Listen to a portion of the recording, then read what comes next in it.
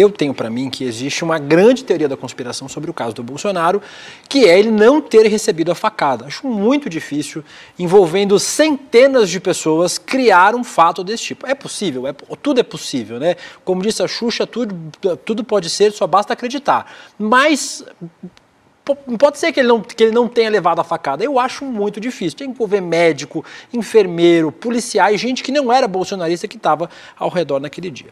Dito isso, ontem a Joyce abriu uma nova linha que talvez para quem gosta da conspiração vai adorar essa história, né? É, faça um pouco mais de sentido. E aí sim eu acho que cabe investigar.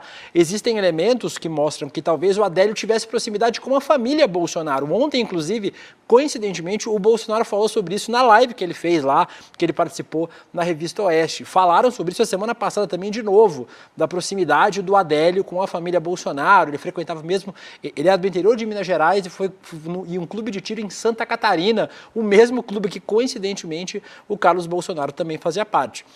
Acho que abre uma possível, talvez, se, se, é, se, a polícia enxergar que há elementos, se a justiça enxergar que há elementos para isso, abrir uma linha de investigação dessa relação. E ela reafirma que aconteceu a facada, que eu acho que é um ponto é, é, dado que a facada realmente aconteceu, senão, a, a, senão a, gente, a gente teria que ter uma teoria, uma teoria da conspiração, uma conspiração muito maior, envolvendo muito mais atores.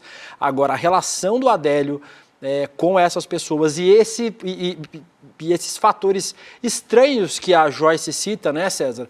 De que ele nunca saía sem colete, saiu sem colete, ele nunca saía no meio de todas as pessoas e saiu no meio de todo mundo. Ela não foi avisada, várias pessoas que estavam ao redor do Jair Bolsonaro não foram avisados que ele ia para lá naquele dia, então acho que sim, aí tem elementos que talvez, pelo menos a gente não está dizendo nada, né, a gente não está afirmando nada, quem afirmou foi a Joyce, é, mas que talvez possam ensejar em novas investigações.